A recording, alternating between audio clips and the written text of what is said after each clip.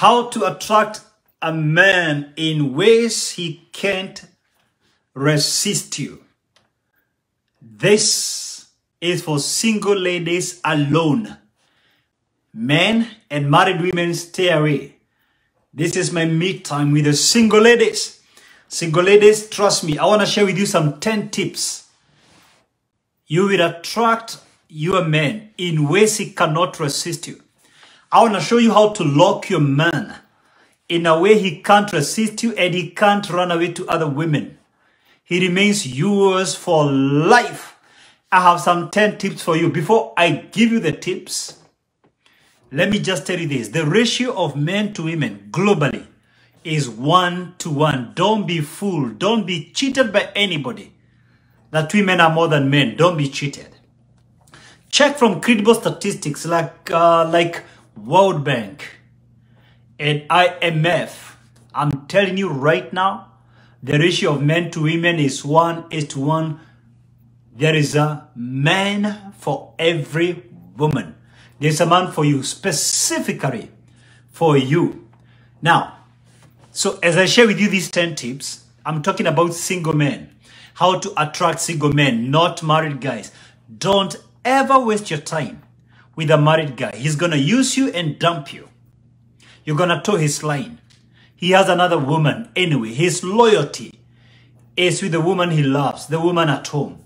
No matter how wounded he may be, no matter how emotional he is, if he's married, stay away from him. He's a time waster for you. He doesn't love you. He's wasting you. He's using you. So the tips I'm sharing with you is for single men and specifically to lock him in for marriage. Now, trust me on this. Out of the people listening to me, the single ladies listening to me, about 5% will practice what I'm going to teach you. And those 5% will write me a testimony before December next year. Either they are married or engaged. I'm telling you the truth and nothing but the truth. The 5% who are going to practice what I'm going to teach you right now, before December next year, you'll either be married or engaged for marriage. I have talked to many single ladies in different countries, and those who followed what I teach, I guarantee you 100% they got their husband.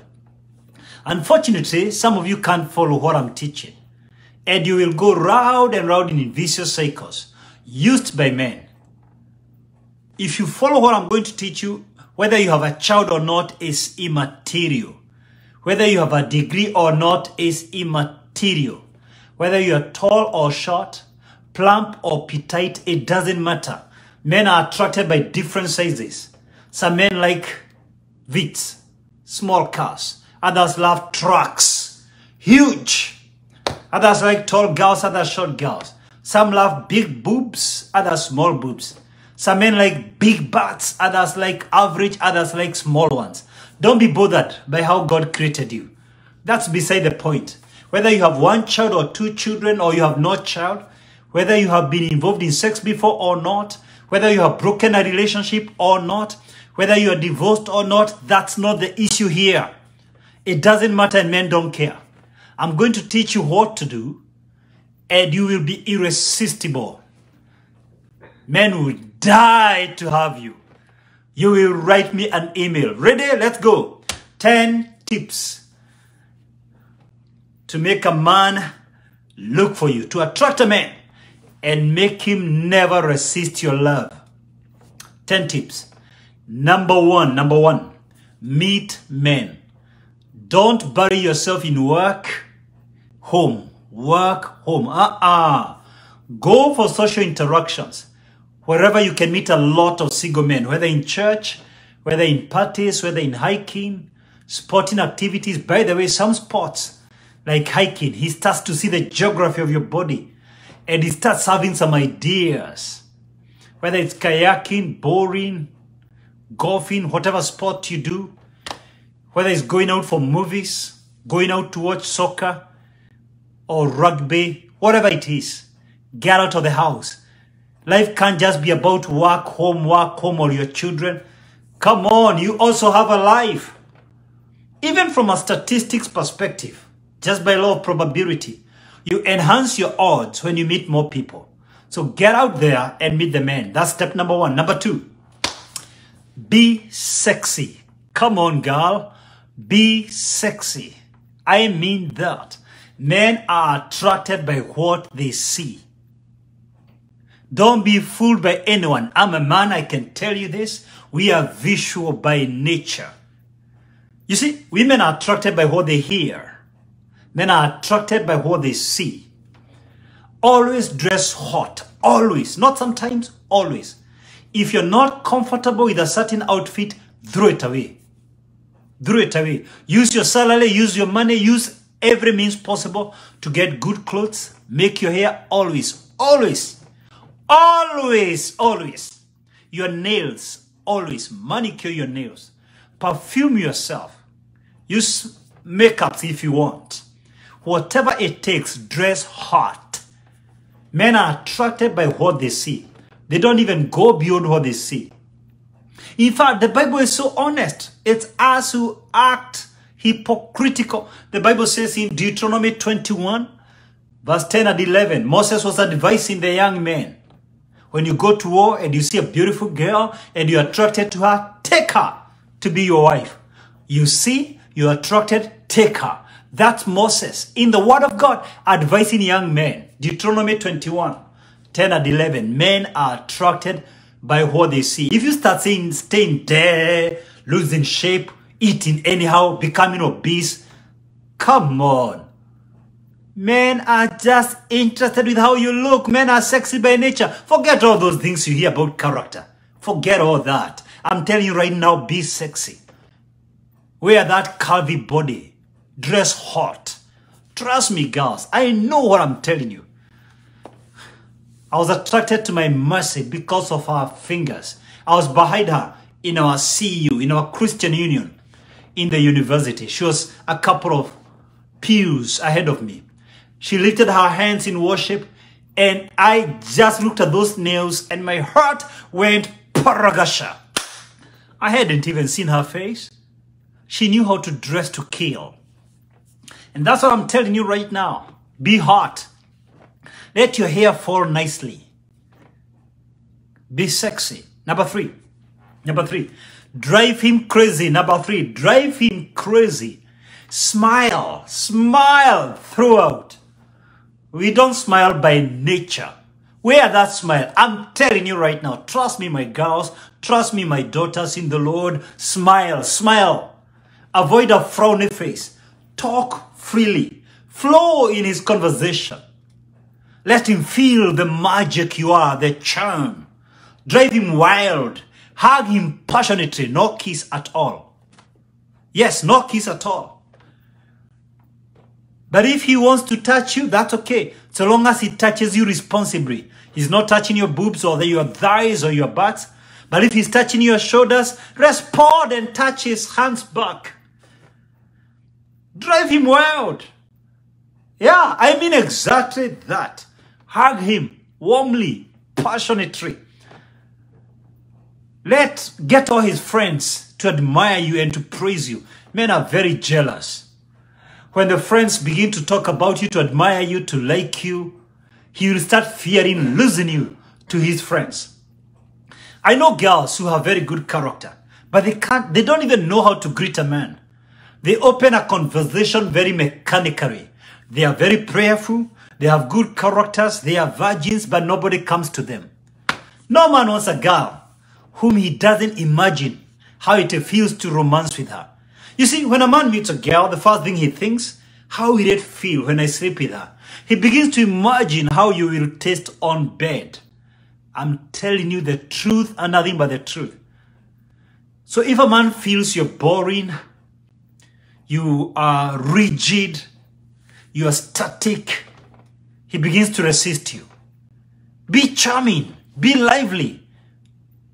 Give him the attention he's looking for. Men like bragging about their job, their car, their house, their physique, their salary, their business. Men like talking about themselves. Men are like kids. It's so easy to deal with them. Flow in his conversation. He wants to feel some praises. Continue. giving him those compliments he's dying for. Give him the attention that he's dying for. Number four, number four, number four, be confident. Men are looking for a confident woman. When he drags you everywhere he wants, he loses taste in you. Be confident. Set strong boundaries. For example, if you're going out with him tonight, it's Friday night right now, and you agree you're going to go home at 10 p.m. Don't extend by a minute. Remind him, no, no, no, no. My time has come. I've got to go home. Be firm. Be lively. Flow. During the moment you're together, be very, very lively. Flow in the conversation, but be firm. Never act desperate. That puts off a man. He thinks you're loose. Men fear imagining that everyone else moves with you. So be confident. And, and, and don't imagine this is going to be your husband. Just flow. The person who will marry you may not even be the guy you're thinking about. So be confident. Don't be apologetic about your achievements, about your own life. Don't allow anyone to belittle what you have done or your own achievements. If somebody is positive, continue hanging out with them. If they are negative, block them. Block them. Block them, I mean that. Be confident in your own skin. Don't ever complain about any part of your body or your dressing or your car or your house. Don't believe, you know, some girls make weird mistakes. Oh, my car is so tiny. Even if a guy comes driving a Range Rover, a VX V8, it doesn't matter. Celebrate your car. Speak as though it is the best car in the whole world.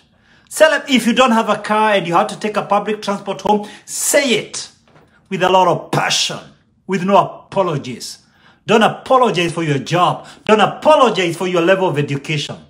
Don't apologize for any part of your body. Don't apologize for your kids. Don't apologize for your past relationships. He has just met you. You didn't cheat on him. He has just met you. Be confident in your own skin. Number five, number five. Number five is a huge one and very tricky. Very tricky. I'm telling you this. Never initiate a call. Never initiate a text. Even after meeting him two, three, four times, don't initiate.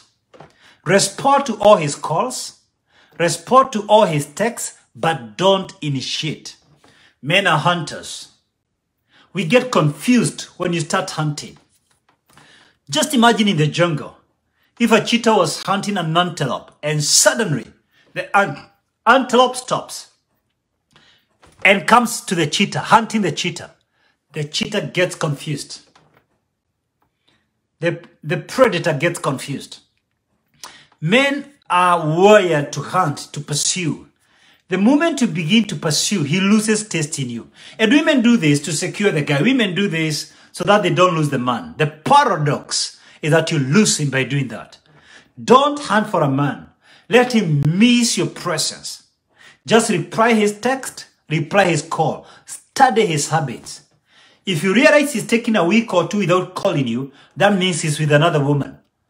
Don't try to waste time asking him what's happening. How come you have not called me for so long? Uh-uh, he's not yet your husband. He's not yet your fiancé. He's not yours. I mean, don't try to hold him like he's yours. Let him know, I mean, it's okay. You can stay for a month if you may. You can stay for three months. The moment you act desperate, I guarantee you, you lose the man. And this is the mistake most women make. You meet a man today, you initiate the call, you initiate the text so that you can get the guy. My goodness, you've fallen in for his trap. Trust me on this. I looked for a woman. I'm not telling you things I didn't do. And there were also girls who were looking for me in college. I was very charming. I've always been a very charming guy. In those days, we used to write letters. If I wrote you a letter, I would have driven you crazy. I'm very gifted in letter writing. Three months after I proposed to Mercy, she thought I'm a joker. She thought I'm a player. She even told me it's over. Believe me when I tell you, I'm very good in writing letters. I'm very charming. I'm very romantic. So I had so many girls who were interested with me when I was in college. Many. I'm telling you the truth and nothing but the truth. But Mercy never showed interest. She would smile with me, hang out with me when I look for her. When I disappear, she would disappear. And I started feeling jealous and I didn't want her to run away from my hands. And those who are available for me, I started blocking them. And that's what every man does. Don't try to act desperate. Don't initiate. Let him look for you. Let him remain the hunter. Don't be the hunter. Number six. Please listen to this. Please listen to this. Number six. Never ask man for money. Never ask him for favors. When he becomes your husband, it's no longer his money. It's your money. When you're dating a guy, he has not given you a ring proposing for marriage. He has not put a ring on your finger. Don't feel entitled to anything he has.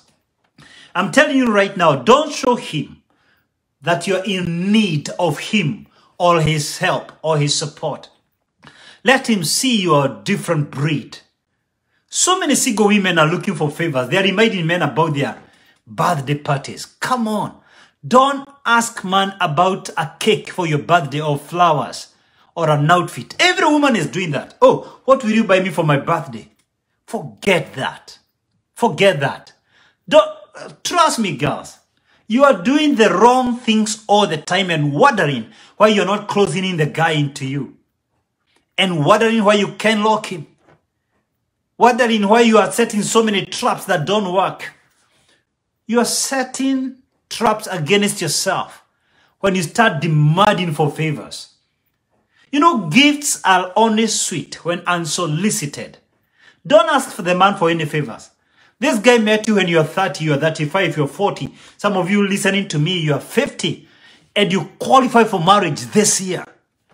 I'm telling you the truth, it's never too late to get married. I have seen a 70 year old woman get married to a 74 year old man. I have seen women in their 50s, in their 60s get married. Trust me on this. Don't ask for a man for favors, not even to pay for your taxi. A reasonable man, a man who is thinking, a man who is thinking straight. If you don't have a cab, he will offer, he will volunteer. He will pay for your dinner, he will get the cab and pay for you, but don't ask for it. If he pays, thank God. If he doesn't, so what? Carry money for your dinner. It is his job, by the way, to pay for your dinner. It is his job to pay for your cab if he invited you for a date. But don't go expecting. Manage your expectations. Expect nothing from this guy. Ask him for nothing. Let him know you're not interested with his money. If there's no love that is genuine, that is flowing, that is natural, he should take off and look for another number. You're the wrong number. You, you are interested with the whole package. Not throwaways, not change. You want the whole package. Please listen to me, children of God. Single ladies, listen. I repeat again, don't ever ask man for money. Don't tell him to pay your rent. Don't tell him to buy you a pair of shoe or to buy you clothes. That's not a man who deserves you. A real man will tell himself that I need to surprise this girl with chocolates. I need to surprise her with an outfit or a pair of shoe or a watch or some jewelry. I need to pay for her spa or, or, or for her hair. And many men will do that within the third date. Most men will do that. Most men are reasonable anyway. But the moment you start asking, they start avoiding you. You have sent so many men away because of asking for favors. They start thinking you are a gold digger. You are setting yourself up for failure. Don't ask for favors. Let him give you out of his own volition. You may mention about your birthday in a way that it doesn't look like you're asking for a gift. Don't even sound like you're asking for a hint. Don't. Don't. You may invite him, for example, you have your birthday, you have organized with the girls. You may tell him, by the way, don't mention it three months in advance. That one he will know you are trying to look for a gift. Mention it as a by the way. And by the way, next week is my birthday. We will be going such and such a place. Do you want to come? Be confident and pose that question to him. Number seven, number seven, number seven is the most critical. Number seven is the most critical. Say no to sex until your wedding night. Say no to sex until your wedding night. Hear me, girls. The moment you sleep with that man, he begins to imagine how many other men sleep with you. The moment you sleep with a guy who has not married you, no matter how good your intentions may be, he begins to believe you're loose and he fears if he marries you, you will easily sleep with other men. The moment a man knows he can't sleep with you, he begins to respect you. He begins to see you as wife material. Men know the line between a call girl and a wife material. No man wants to share his girl with any other man. So if he sleeps with you before his covenant with you, before the wedding vows, before his wedding commitments, his marriage commitments, he knows you can sleep with another man with no commitments. He knows you can engage in casual sex anytime. Trust me on this, meet in the public. Never, never, never, never go to his house. Never, never, never, never allow him to meet you in your house. Unless there are many people in the house. You're with your girlfriends, you're with your brother, your sister, and you're not taking him to your bedroom at all. It's a no-go zone if he has not put a ring on your finger. I was given this ring by Mercy. 29th of March 2009. She wrote her name inside this ring. I dated her for four and a half years. Four and a half years. No sex until our wedding night. Many men and women were sleeping with each other in college, and most of them never ended up marrying. And some of them married and they divorced. Why? Trust was broken. And you cannot regain trust. Once it's lost, it's lost for good. Never. What you do as a girl, tease him, flirt with him, touch his cheeks, let him come for it. Leave him yearning for more. Don't be rigid. Don't be stingy. Don't be static and rigid. Ah, loosen up, girl. Come on, loosen up. Let him touch you so long as he's not touching you the boobs, the thighs, the butts, shoulders, hands, and also touch him back. Leave him feeling like he's going to die for you, but he cannot get your sex. You don't negotiate about sex when you're in his house. You don't negotiate about sex when you are in his house. You don't negotiate about sex when you get into a guest house. Discuss these things ahead and let him know you don't believe in premarital sex. You don't believe in casual sex. You respect yourself. If he doesn't respect himself, too bad for him. Too bad. For you, you have your own non-negotiables. You have your indivisible minimums. This is a no-go zone. It's a deal breaker. It's a red line that no dude can cross. You know what? No man will leave you if you do that. Once he tastes you, he can move on. He can move on. And that's why even when you're dressing, dress in such a manner, you expose a little bit of thighs, but not too much. When you're naked, we don't want to see you again. What we don't see is what makes us keep on looking for you. So if you put all your breasts outside, what else are we looking for? So do it in such a manner we can only see a little bit of your cleavage. We can't see everything. And we are asking ourselves, what is beyond those clothes? What is beyond that outfit? That's what makes us to hunt. So flirt with him, tease him a little bit, but no sex. And the only way to avoid sex is to meet in public. Public means in the presence of other people and it is safest in restaurants. Because you know some people can trick you. You can go to his house when there are other men or other women and then he has organized with these guys. When she comes, you tactfully disappear and then I'm left with her only. Don't act silly. You're smarter than that. Use your common sense and your discernment spirit. Meet in public, meet in restaurants, meet in parks, meet in places whereby he will be too shy to go beyond what is acceptable in the public. No sex until the wedding night. If you lose him, you didn't lose him. If a man threatens you that he doesn't want you if you can't have sex, let him go. That kind of a guy, even if he sleeps with you, he won't stay with you. Do you know why so many marriages are in turmoil and chaos? It's because of premarital sex. They engage in sex with no covenant, with no marriage commitment, and so they have never trusted each other, their entire marriage. People who rush into sex before marriage, even if they get married, they end up with a very sexless marriage because they are always suspicious of each other. People who wait for each other until they get married, these are the guys who enjoy sex in marriage. Why? They trust each other. They are not suspicious of each other. They are daily roaring on each other, roasting each other in bed. That's the kind of a marriage you're looking for. A marriage that is full of romance. I feel so good when I'm massaging my Mercy. Sensual massage. Allowing my fingers and my hands and olive oil all over her body, touching her inner thighs. Her boobs, massaging her, preparing her. Because she's my princess. I waited for her for the right time. That's the kind of a man you need. Number nine, number nine. Oh no, number eight, sorry, number eight. Ten tips, number eight.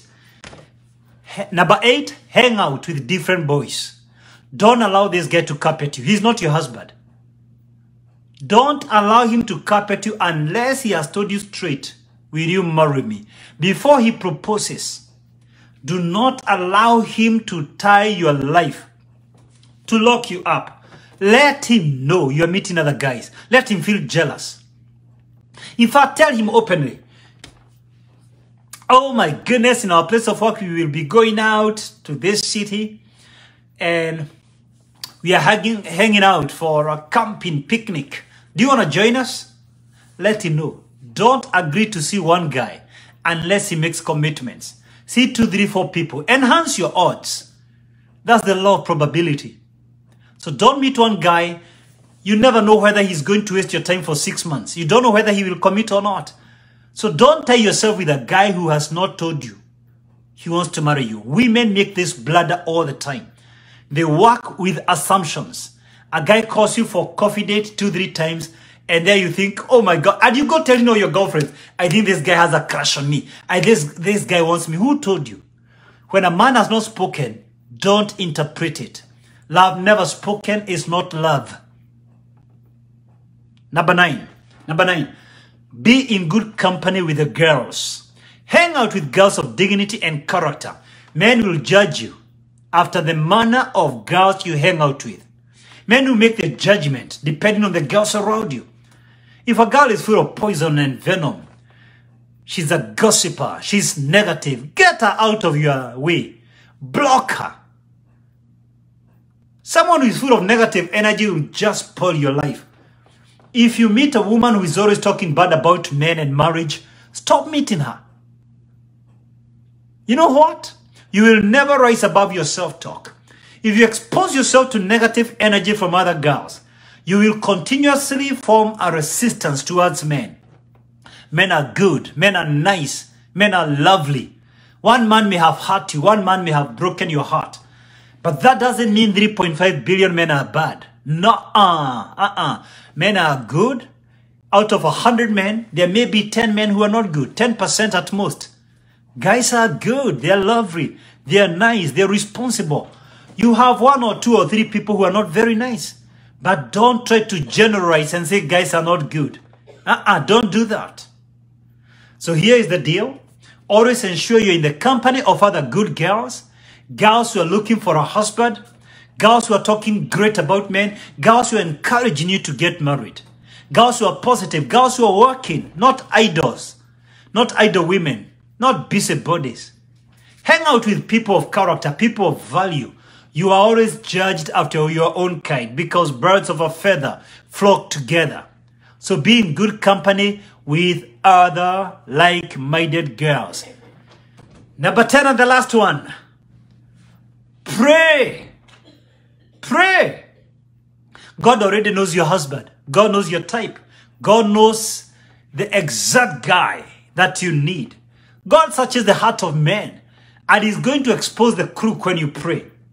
I'm not saying you do the other nine things and then later you pray. No, you do it concurrently. In your search for men, mix these things up. It's not like one following the other. Integrate it. Meet men, be sexy, drive him crazy, be confident. Don't initiate a call. Never ask him for money. Say not to sex until you get married. Hang out with different boys, not one guy. Be in the good company of girls as you pray.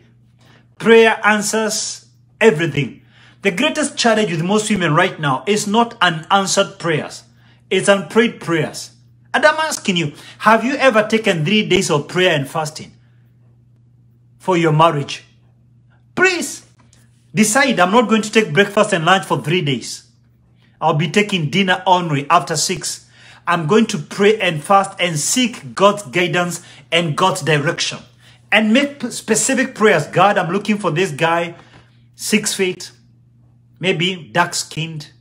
I'm looking for this guy who is an accountant who is working. I'm looking for a God fearing guy, a man who will take care of our children, a man who will love me, a man who will be home with us. I'm looking for a guy who is sexy and romantic, a man who will be taking me out for holiday, a man who will compliment me. I'm looking for this guy. Oh God, that's my taste. Jesus said, if we've been evil, we human beings been evil, we know how to give good gifts to our children. When they ask us for bread, we don't give them a rock. When they ask us for fish, we don't give them a snake. How much more shall our Holy Father give good gifts to those who ask him? And then he said in Matthew 7, 7, Ask, and you shall receive. Seek, and you shall find. Knock, and the door shall be opened for you. Your man is just a prayer away. You'll be surprised how much God wants to bless you. But you're not asking him, you're not praying, you're not seeking him. I'm asking you today, take some three days of prayer and fasting and be very specific. God, I'm looking for this type of a guy.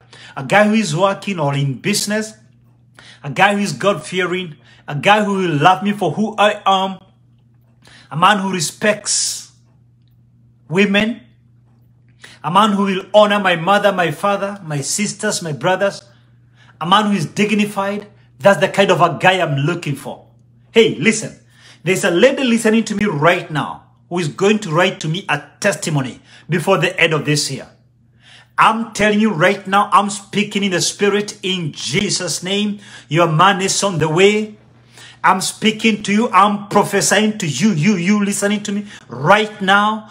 God has ordained this man. He's going to look for you. You're not even going to look for him.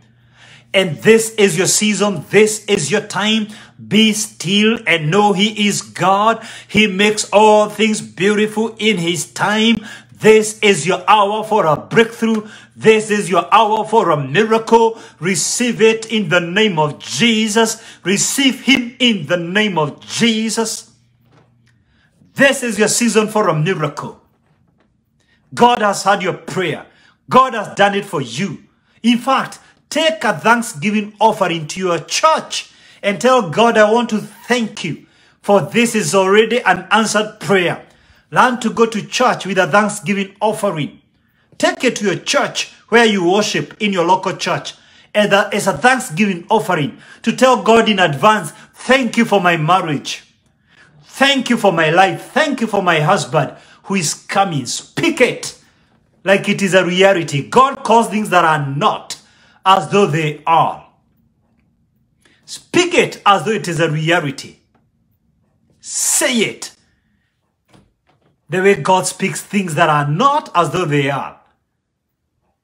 Receive it in Jesus' name. Amen.